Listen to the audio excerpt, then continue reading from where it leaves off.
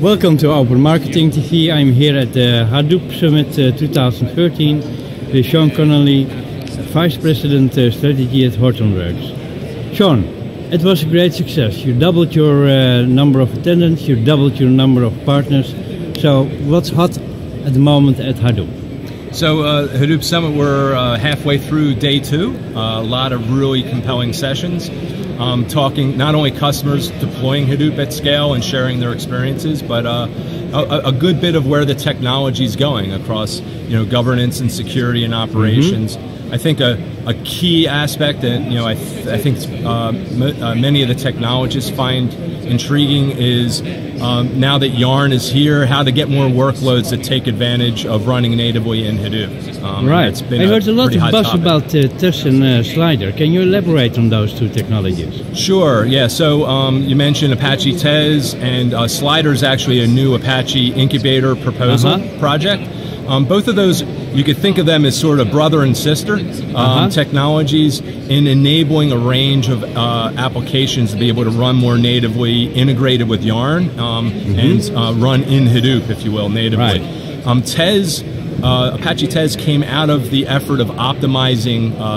Uh, Apache Hive as part of the Stinger initiative, mm-hmm. um, and it, now it's a more general purpose uh, execution engine that uh, Pig and Cascading and other uh, more MapReduce style frameworks are looking to uh, uh take advantage of for more 10x performance uh, throughput, things like that. So right. a much more optimized experience of running uh, on Hadoop. Um, Slider, on the other hand, actually came out of work on Yarn enabling HBase, which is a uh-huh. an always on service, right? It's a NoSQL database. Right. It's, it needs to always be running. And so Slider is a uh, more of a general purpose approach to being able to um, make it easier to bring these always on services, whether it's HBase or Accumulo or Apache Storm, or even commercial uh, engines that you want to package up and be able to slide onto uh, you know Hadoop and run in Yarn much uh-huh. more easily. Okay, so that lowers the barrier for implementations, right? Exactly, and it enables a much wider range of work workloads to run natively in Hadoop. Right. What also will stimulate Hadoop, I think, is the work of uh, Microsoft and the fact that you can start a Hadoop cluster with a couple of mouse clicks in Azure. That's amazing.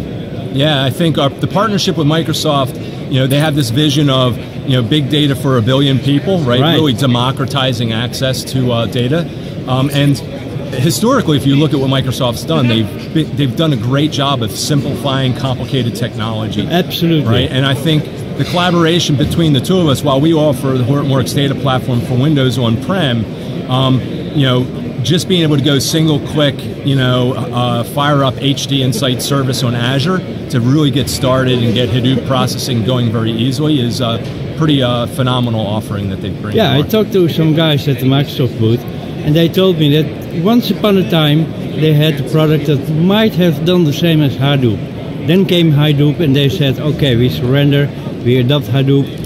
You, you and uh, your company and Microsoft got together Hadoop for Windows was developed, and now it's a mainstream product in the Microsoft Azure offering. Exactly, and that's you know we've been partnered since uh, probably late 2011, so right. a few years now, and so the fruits of the labor are, are great to uh, see right. Um, having impact.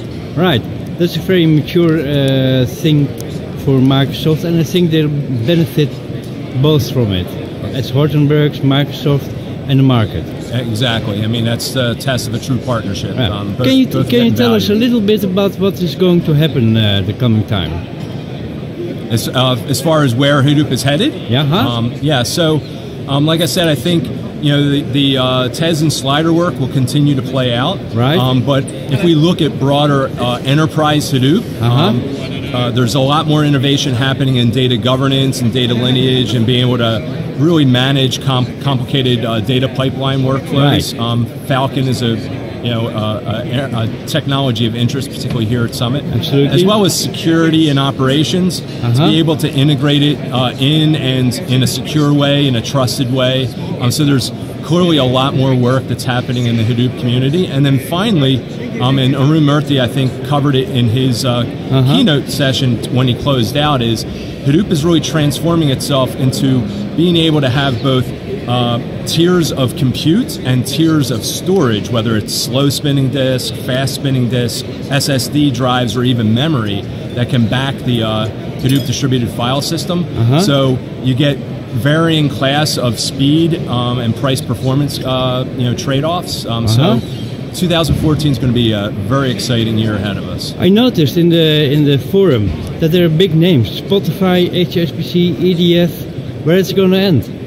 Um, I, th- I think, and if you listen to Mike Gualtieri from Forrester in his uh, in his keynote, he basically said he feels uh, Hadoop is going to be a, a major platform for the majority of enterprises, and Right. so he's uh, he's quite bullish on its uptake well across vertical industries. So Sounds sounds like a great future. Thank you for the interview, and see you next year at the Hadoop Summit in Amsterdam. yeah, thank you, Tony.